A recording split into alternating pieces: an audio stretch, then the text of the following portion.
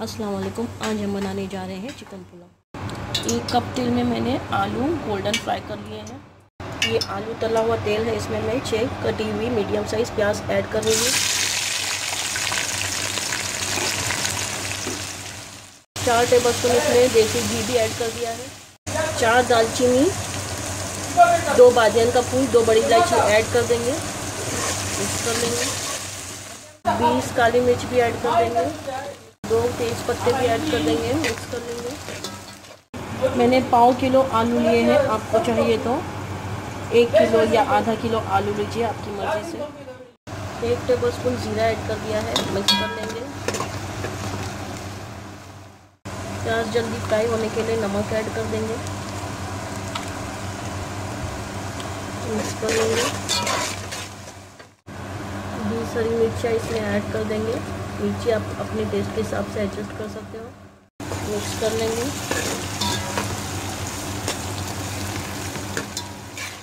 पाव kilo दही इसमें add कर देंगे फेटी हुई मिक्स कर देंगे।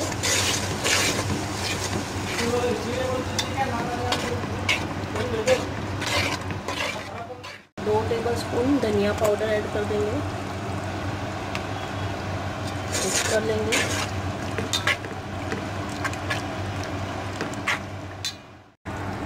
दो चिकन क्यूब इसमें ऐड कर देंगे।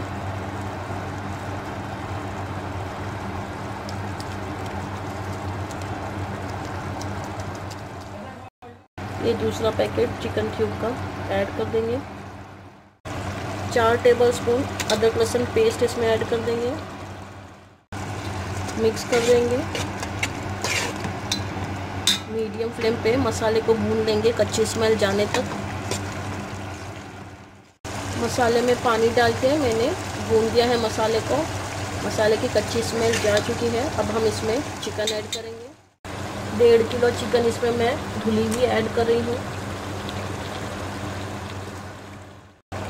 डेढ़ किलो चिकन मैंने ऐड कर दी है। इसमें नमक ऐड कर देंगे टेस्ट के हिसाब से।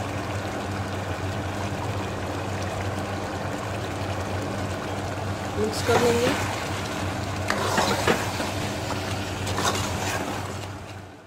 एक मुट्ठी सूरी मेथी ऐड कर देंगे। मिक्स कर लेंगे।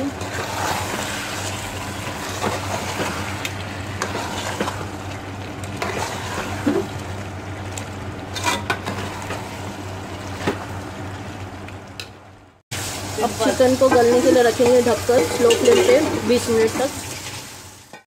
तीन गिलास चावल लिया है। स्टील का गिलास है। तीन गिलास चावल छः गिलास पानी। इसमें ऐड कर दिया है। नमक ऐड कर देंगे।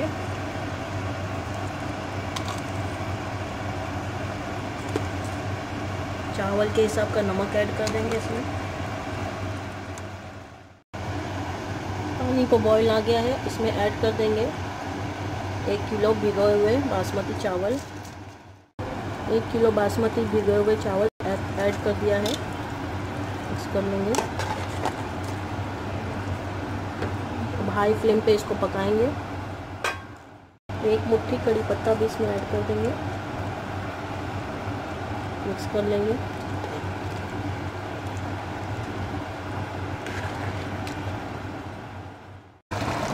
पानी चावल का कम हो गया है।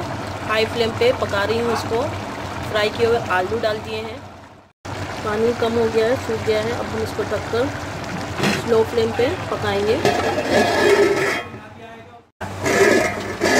दस मिनट में भाप आ गई है, पुलाव पक चुका है। चिकन पुलाव तैयार है। अगर आपको मेरी रेसिपी पसंद आती है तो इसे लाइक करें शेयर करें और मेरे चैनल को सब्सक्राइब करें। बेल आइकन को दबाना भी ना